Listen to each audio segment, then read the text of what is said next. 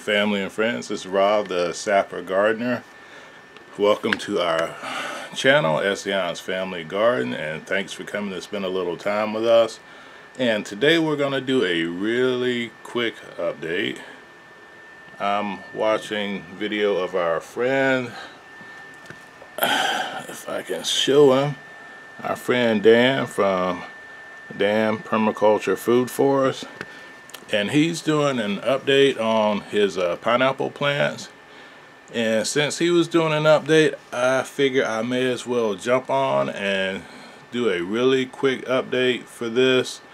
Uh, we've been trying to grow pineapple from store-bought for I don't know 10 years maybe more than 10 years since we lived in Georgia 2010 2011 uh, first one we tried or I tried to grow actually it would be longer than that because I, I, first tried before I married Mrs. SG so it would have been probably 12 years ago plus and I've never got one to grow but we don't give up in this house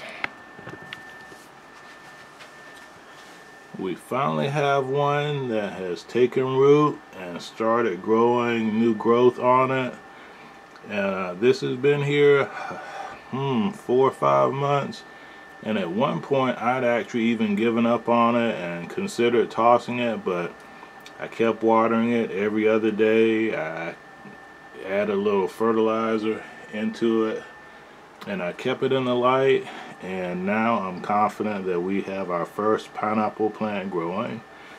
And it's just a testament to patience. You keep growing you keep trying and eventually you're gonna get some success. You learn from the mistakes you try to do better and you see how things come out. So like I said a real quick video just on our pineapple plant. And uh, I would show you our unofficial pet praying mantis out there, but he's moving around. It just shed. I guess I can show you this and maybe throw some clips in. It just shed, if you can see, hopefully you can see against the light, but it just shed its skin. And praying mantis shed their skins usually seven times before they get to adulthood. Uh, when they shed, they're very vulnerable. So they tend to find a nice spot to hide because uh, that is the time when they are preyed upon the most. And yeah, I don't see them around here. But it's here somewhere, he or she. And it's gotten much larger since then. Yeah, it's hiding. So I'll put some clips in of it that I took earlier today and add them onto this video since I don't see them out there right now. But it is definitely growing. And uh, since it's growing, I'm assuming it's getting plenty, where am I? since it's growing, I'm assuming it's getting plenty of uh, nutrition and bugs and whatnot over there and every bug eats is hopefully one less uh, pest that'll eat up our plants.